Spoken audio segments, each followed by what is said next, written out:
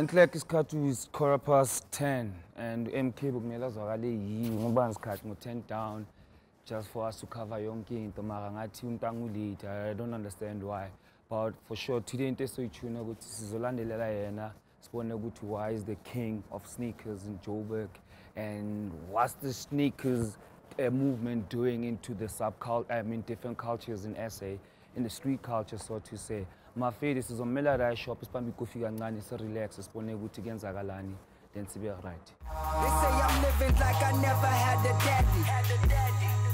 That's cause I never had a daddy. They say I'm living like I never had no problems. We always rolling deep, so we never had no problems. Boys and bucks, we run the city. We fucking up the scene. Rock some shit you never seen. All my girls is European, and the hoopties always keen.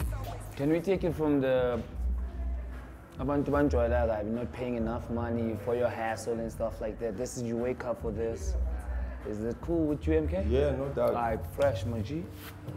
Yeah, like the like we were just talking about how funny how funny cats take our careers to be like it's, it's more or less like a like a hobby because when when cats like yo we need to do something like this and you ask like yo what's your budget and cats start acting up like yo you think I was gonna do this thing for free you know especially like the sneaker culture yeah. in general people think collectors or people who create content for the whole sneaker culture in Africa is like it's a hobby. It's not a hobby. I don't. It's not a side hustle. It's my life. Like I've been doing this for more than ten years. So for you to just come in, When I got to the game in Tuleni Navele, you guys been running things, you know no I'm doubt? Yeah. no doubt. Like I mean, it, it's for me personally, like personally, like my uncles were heavy on the fashion shit. You know, they used to dance and shit like that. So for for me, it just became a, a passion that became a business. You know, And So- you're eating out of it. No doubt, no doubt. And all my niggas live life. It's only hard till your niggas get right. Uh, I said my niggas live life. It's only hard till your niggas get Your right. niggas run the game, uh. They probably thought that we were struggling. Never knew that we were bubbling, bubbling. Representing thug life, representing thug life, thug life, thug life, thug life, thug life. Would you advise a kid who went to school, who went to tertiary, with Ndwazin, you know what?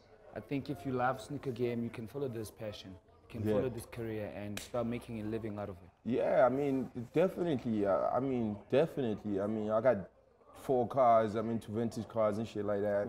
I live in a in a fairly dope neighborhood, so it, it, it's it, it, there is money if you're willing to put on work. And Yeah. as was like, for me, it, it kind of a bit took time because the culture was still small. Yeah. Uh, I remember like 10 years ago, like wearing all these totally shoes. different. Cats look at you funny Yeah.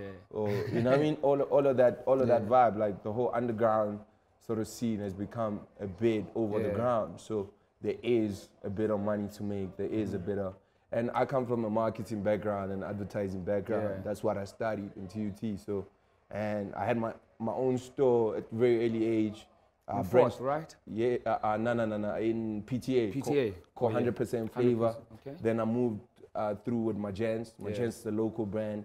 I moved to, that's when I moved to Jersey. I was about 20. Yeah. I was doing the PR. We opened two stores, one in Roseman, one in Carlton.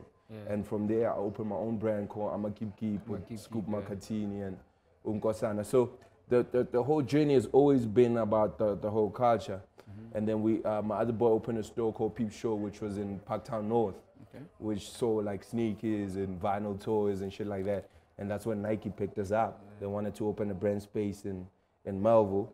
Um, so it was me, okay, Malum Cat, Usanele, Umume, everybody knows Mume, Mume and Mo, obviously. Uh, we Tallest opened, Mo's wife, guys. yeah, tallest most wife. So we opened one store in, um, um, we opened like a, it wasn't even a store, it was more of a brand space Yeah. in Melville, uh, whereby all these celebrities used to come pick up product. Yeah. We'll do like uh, product installation based around the music. So a lot of DJs that you see now that are popping were really part of that that gallery scene. We I got my ACG Nike ACG ACG boots. yeah, Yeah, and- it was around 2006, if I'm not mistaken. Yeah, It was still so, so yeah, yeah, those joints were. We used to bring product that was never in the country at that time. So the level of like premium product that SA was getting started at the gallery, Yeah. and obviously filtered on to Shelf Life. Shelf Life, And there was a there, there was a store called Bonafide also in I Cape Town, it, yeah. and uh, A store A store is still there. It's more of like a lifestyle store where they sell like cultured books, art books, Mm-hmm. sneakers, and a bit of like cut and sew type of clothing. So those stores really derived from what Nike was doing because we, we did a lot of like events, especially around the World Cup. Because the whole hype of it was this dude from the UK who came to SA working for Nike from the UK and he wanted to kind of uh, uh, build towards 2010. Oh, yeah? And we did a pop up for six months. It was totally successful. They gave us like about five years to kind of kill the whole thing.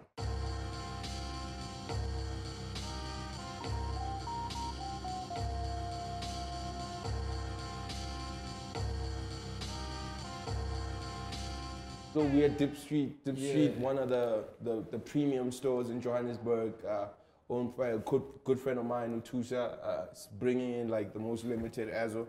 Uh, the store is definitely looked at as one of the, the, the, the ones on top in terms of the hierarchy of where you can pick up your shoes. So that's why I decided to come to, To come here. to the to the joint. Yeah, Yeah, it's very nice. It's sick. It's crazy, eh? no doubt. And I see in this shop, what's your favorite sneak that you go for? Um, I mean, the, the, the 13s, definitely the 13s, the, the OG colorways. I was always like a fan of the. These ones? Uh, no, Okay, the these 13s, ones. yeah. These are the 13s. Yeah. Okay, cool. Um, these are one of my, obviously for the basketball field, these are one of my favorites. The, there's a black and white colorway, which is like on the movie You Got Game, Yeah. which is like also my favorite movies of Spike Lee, Spike Lee joint. With I've seen some Washington. Filas looking like this. Not really. Like uh, It's- yeah. Well, I mean the the the Fila came through as well with the bulky type of Oh, shoes yeah. and shit like that. But I mean, never you Never. can't compare the Jordan to a Fila, nigga. That's not gonna happen. Oh, shit. The motocross joints, uh, Jordan fours, yeah. Jordan fours as well. I got a pair of these. Uh, my only problem is with the leather; it breaks really quickly Yeah. once you wear it. But also like dope silhouette. I mean, when the sneakers joint uh, dropped, it was also like the, the crazy part about it is like shoes were designed in a certain way. And when Tinker Hatfield, which was one of the biggest designers at the Nike headquarters, came out with the with the with the silhouette like this, it was like sneakers were taking another look. You know what I mean?